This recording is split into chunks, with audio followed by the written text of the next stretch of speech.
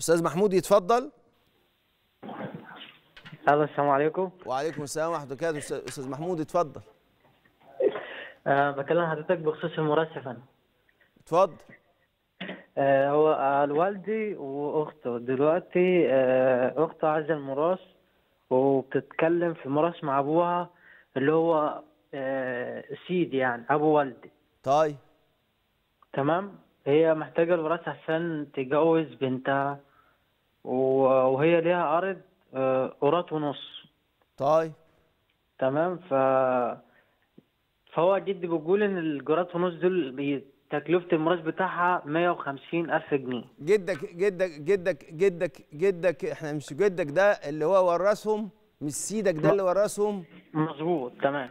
طب استنى بس واحدة واحدة. اتفضل. جدك بيقول إيه؟ جدك يعني قال قبل ما يتوفى؟ لا ما هو قال- حاليا على كده الحياة موجود. أمال فين الميراث؟ ميراث منين بقى يا سيد محمود؟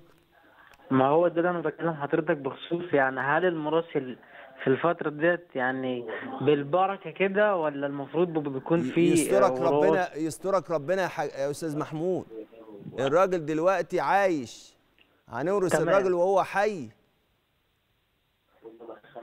ما ما أنا عايز. أعرف مين اللي نعم. بيكلمك جنبك ده. هو اللي بيكلمك جنبك ده ده والدك وهو يسألني طه ولا ده آه. سيدك؟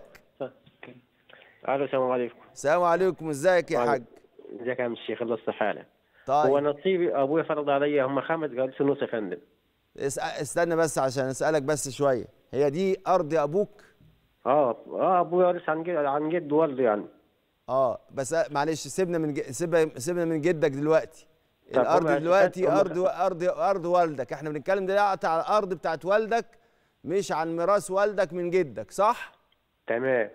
دلوقتي الأرض بتاع والدك دي يبدو إن هو والدك عايز يوزعها بينكم آه، على حياه هينو صح آه كده؟ تمام يا فندم تمام. يبقى محمود الله يسامحه محمود يبقى ده ملوش علاقة بالميراث خالص يا محمود. لا هو ما هو قال لي آه والدي بيقول إيه؟ يعني هم المساحة خمس عائلات ونص نصيب طيب. يعني نصيب. كل واحد كام بالظبط بيرضي الله يعني هم خمس كويس يبقى والدك دلوقتي. والدك دلوقتي هو عنده خمس قرايط ونص آه وعايز دلوقتي يوزعها عليكم على حياة عينه صح كده آه عايز يع- ياخد نصيب أختي آه، يعرف نصيب أختي كام ونديها فلوس يعني طيب. أكل أكلمك يا سيد أكلمك يا سيد آه، يا أبو محمود بقى بص يا أبو محمود عشان بس أقول لك المسألة كلها. اولا إحنا ما عندناش ميراث هنا. ما فيش المسألة دي ما فيهاش ميراث خالص. المسألة دي اسمها هبة وده اسمه تصرف حال الحياة. يعني إيه اللي هيحصل؟ يعني الراجل ده ربنا يديله الصحة والعافية ما بيورث. هذا ليس ليس ميراثا. الراجل ده هيوهب. هيعمل إيه؟ هيوهب. فهو عشان يوهب يتصرف كيفما شاء. اللي عايز يعمله يعمله عايز يدي ده أكتر من ده يدي ده وما يديش ده يفعل ما يشاء.